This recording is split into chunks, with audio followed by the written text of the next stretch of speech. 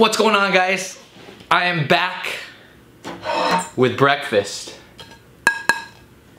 That's an intermittent fasting joke. Did you get it? I'm done, I'm over. So I wanted to share with you some of the things that I learned when doing intermittent fasting. So if you don't know what intermittent fasting is, um, I'll give you this short little example. So intermittent fasting is basically going a certain period of time without eating. So think of this. Let's say you're working at a clothing store and you're constantly getting customers coming into the store and you're constantly helping them out and one after the other come in and you never really get a chance to do some of the other tasks that you you have to do in the store as you know as, a, as an employee of the store um, but let's say all of a sudden for four hours no customers come in and during that time it's less stressful. You're able to upregulate some of the other tasks that you're, you're, you're supposed to be doing, like putting stock away, cleaning the store, counting your money. It's less stressful. It's a less stressful environment.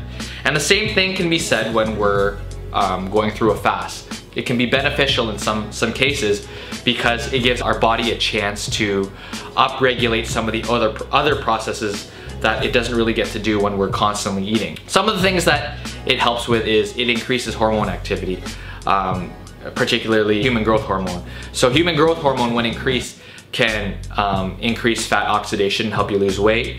Um, it can help you put some muscle on. It also gives the body a chance to get a break when it comes to digestion. Our digestive system is constantly working. So whenever we can give our, our digestive system a break, it's always gonna end up being beneficial for our bodies um, in the long run. Intermittent fasting also helps with cellular repair. So since it's not working hard to do some of the other things that it's, it has to do when we're constantly putting food in our body, it gives our body a chance to increase cellular repair. Um, and then the last thing that I would say that it helps with is insulin sensitivity. So since we're putting less food in our body, particularly carbohydrates, um, we're getting less sugar into our blood, which can help with insulin sensitivity. The only problem with intermittent fasting is when we're overdoing intermittent fasting. There's a certain place and time for intermittent fasting. Intermittent fasting helped me out a lot at the start when I started it.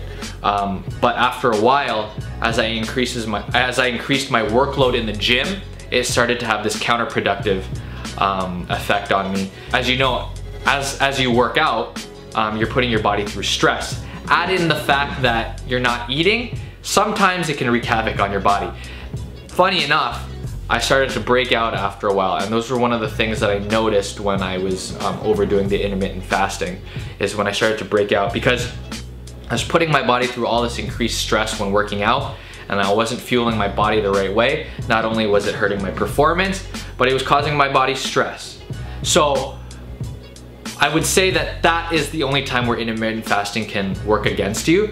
Did it help me lose weight? Yeah, definitely helped me lose weight. Because of the caloric restriction, because I'm eating less calories, because I'm going through a fast and not eating um, throughout the day, it caused me to lose weight because that essentially is gonna determine whether or not you lose weight or gain weight is calorie restriction. But as I went down the road and things progressed, I learned that there were certain things I needed to change, especially metabolically. I needed to increase my my, my calorie intake. I needed to eat more proteins, fats, and carbs, and that helped me out a lot. So intermittent fasting definitely has its place and can help, but know when to stop and know if it's right for you and know, especially if you're maybe performing at a high level, know that it could potentially hurt your performance.